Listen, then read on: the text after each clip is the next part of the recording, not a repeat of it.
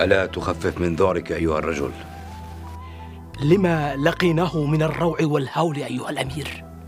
أنت الآن آمن بين يدي الحجاج ولست في غمرة تلك الأمواج الهائجة. ما كان الذعر من الموج أيها الأمير بل ممن طلع علينا من قلب الموج. قل لي قل لي وعلمني ما الذي حدث معكم.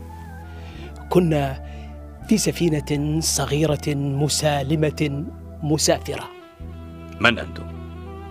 رهط من العرب المسلمين وبيننا امرأة عربية مسلمة من بني يربوع مسافرة معنا ومعها زوجها وابنها. أكمل. وقد جرف الموج والريح سفينتنا فاقتربت من سيف الهند.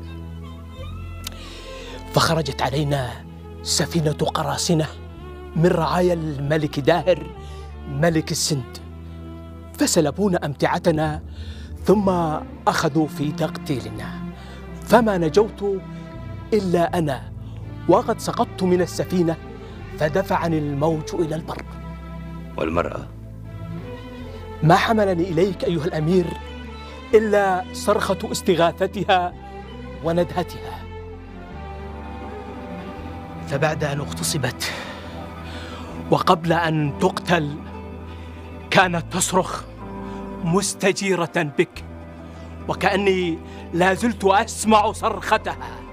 وحجاجة! وحجاجة! كفى كفى كفى.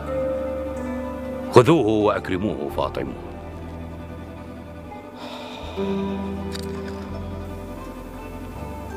أما أنت أيتها المرأة فلبيك. توني بمحمد بن القاسم الثقفي.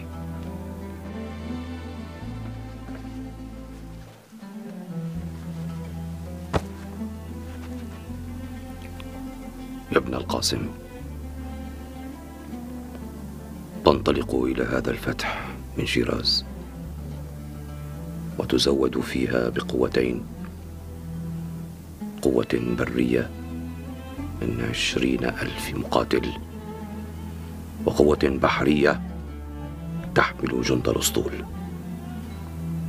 وكل هذا لا يؤتيك غاية نصرك إلا العزيمة التي أراها بك.